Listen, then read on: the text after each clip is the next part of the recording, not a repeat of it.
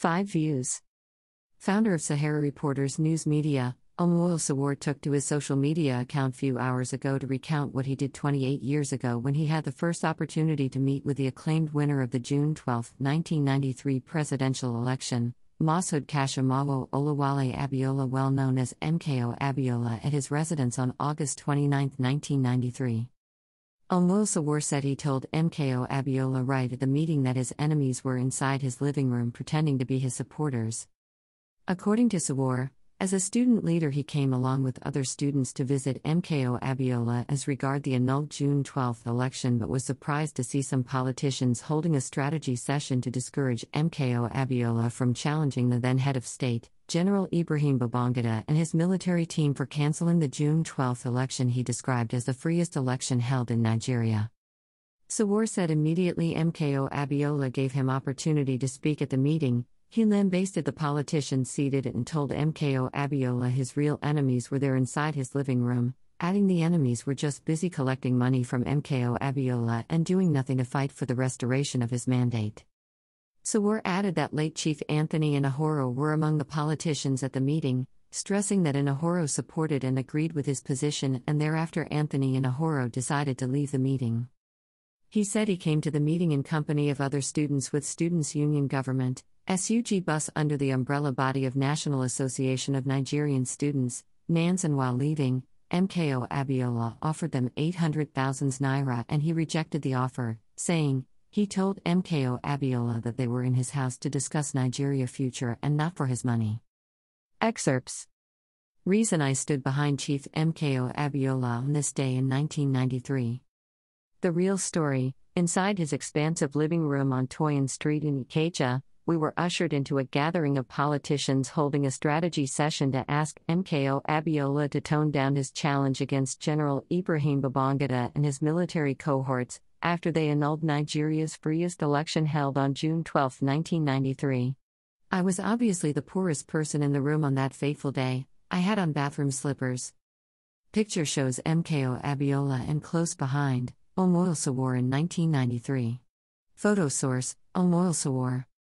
It was my first time meeting Chief Abiola in person, but he recognized me and said, Oh, student leader, welcome to our meeting. What should we do now as my friends have annulled the people's mandate? I quickly took the opportunity to lambaste the politicians seated.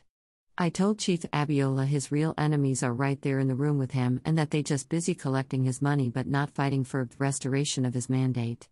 Chief Abiola was uncomfortable and tried changing the topic by praising my organizing efforts in fighting for the restoration of his June 12 mandate.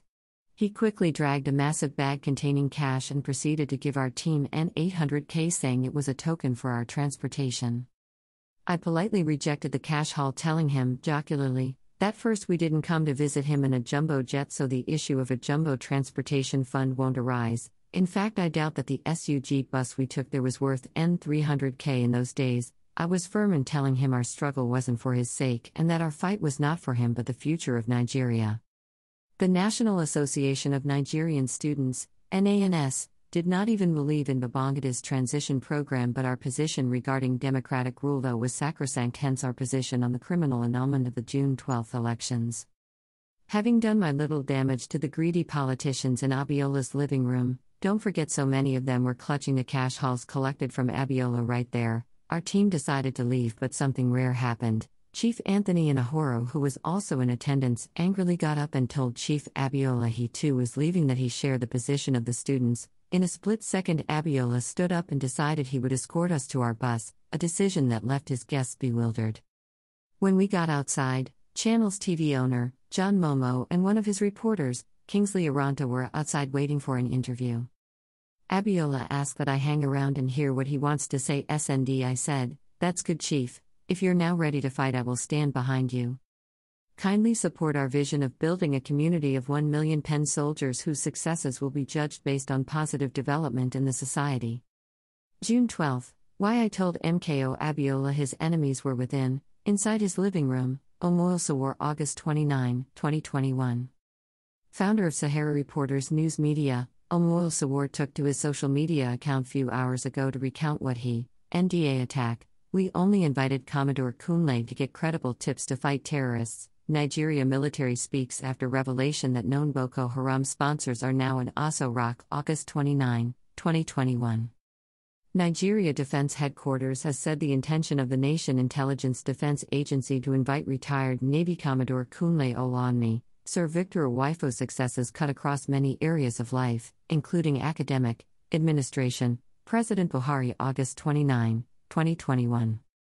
President Muhammadu Buhari has mourned the death of Africa multi talented music pace setter, Sir Victor Efosa Uwaifo, who died yesterday. Africa music pace setter, Sir Victor bows to death at 80 August 28, 2021.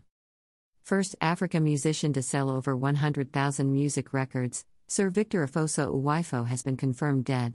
Peter Uwaifo, 1, Edo Nation, is Governor Obaseki advocating self rule August 28, 2021. Edo State Governor, Godwin Obaseki is part of the activities to mark the creation of Edo State 30 years ago.